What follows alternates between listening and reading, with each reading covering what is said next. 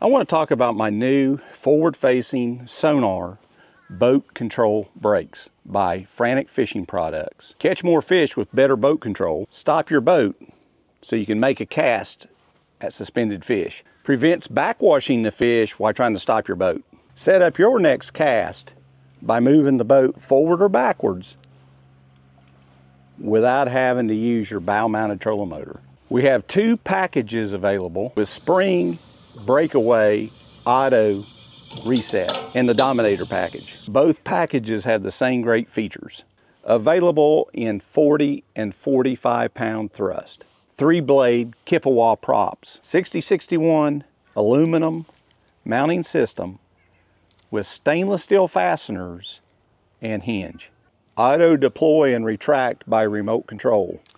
Waterproof actuators. Juice box control system with variable speed, forward and reverse. The variable speed controller can be mounted on the left or the right. You must specify when placing your order. Reverse stomp switch.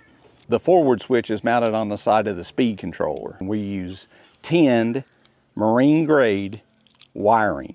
Plug and play, easy to install. The Dominator package is $32.99 with free shipping. The Outlaw package is $34.99 with free shipping. The spring upgrade package for the Dominator will be available at a later date. Price is good for only the first 25 pre-orders. Use discount code STONE5 to get 5% off your total order. Call Frantic Fishing Products at 707 703 7946 to place your order. Don't forget to use your discount code STONE5 when placing your order.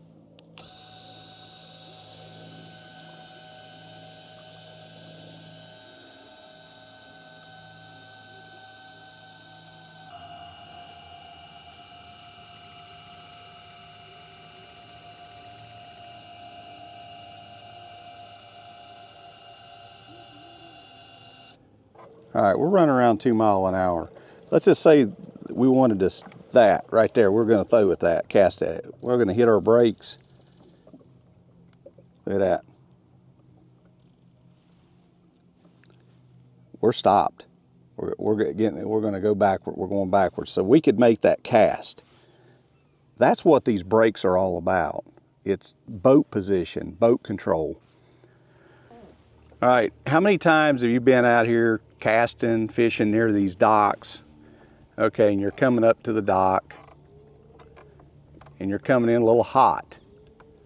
Okay, well, instead of having to reverse your trolling motor, all you have to do is just hit your brakes. So you hit your brakes and you can stop. Make a cast you wanted to go back and you just didn't want to bump your trolling motor because you don't want to spook the fish, we can go ahead and put it in forward and just kind of ease up there. See, we're going forward. Just let it, let our uh, stomp switch go.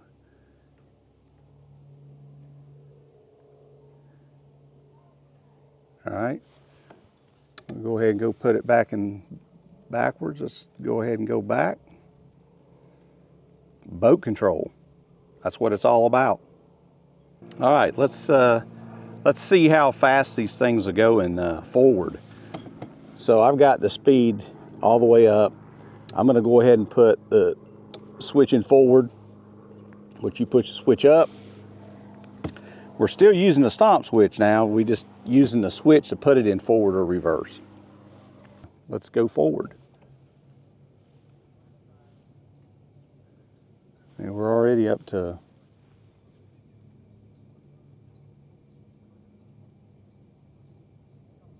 one point four, 1.5, I'm to stop. It's good to have the forward in case you want to make slight adjustments to position your boat to make another cast.